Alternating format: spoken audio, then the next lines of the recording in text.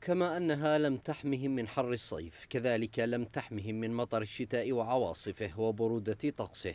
النازحون في المخيمات يجددون حكاية مأساة الشتاء كما في كل عام منذ عدة سنوات.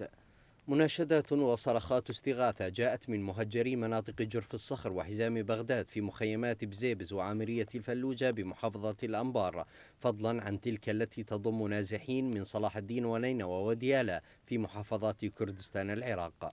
تضمنت المناشدات إيجاد حل لتسرب الأمطار إلى داخل الخيم المتهالكة. وعدم وجود مواد تدفئة في ظل انقطاع الكهرباء فضلا عن أزمات أخرى تتعلق بقلة الدعم الإغاثي وانقطاع المياه الصالحة للشرب. يقول النازحون إنهم لا يأملون من الحكومة حلا جذريا لملف النزوح لكنهم يطلبون في أقل تقدير تهيئة المخيمات بحيث تصمد أمام عواصف الشتاء.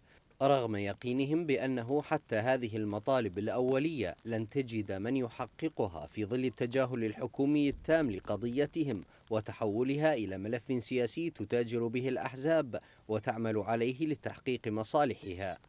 وكانت المنظمة الدولية للهجرة أكدت في تقرير سابق لها عن وجود أكثر من مليون ومائة ألف نازح في عموم العراق وبينت أن ما يزيد على 64 ألف نازح في العراق يشكلون نسبة 7% من مجموع النازحين الكلي في البلد يعيشون في ظروف سيئة جدا وأن أكثرهم يتمركزون في محافظات صلاح الدين والأنبار ونينوى وديالى وفي ضوء قضية النازحين يؤكد مراقبون أن تعامل الحكومات المتعاقبة معهم نابع من سياسة ممنهجة يراد منها إلغاء هويتهم وسلبهم حق الحياة على أراضيهم لتمرير مخططات تغيير ديمغرافي الرأس المدبر لها النظام في طهران.